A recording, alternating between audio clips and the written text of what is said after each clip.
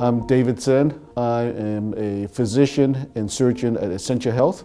So I specialize in general otolaryngology, otherwise known as ear, nose, and throat surgery. And my special interest in it um, is head and neck oncology. And then my other uh, interests are laryngeal reconstruction.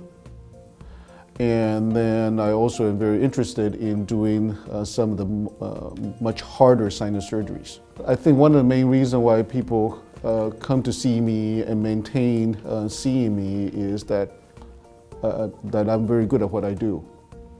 And the, I strive to be up to date and, and surpass um, uh, in the, um, the new surgical technologies and maintain my surgical skills. Some of the ways I make connection with patients is kind of know something special about them. I was running in the um, Fargo uh, half marathon and 10K and I'll see one of my cancer patients on the side.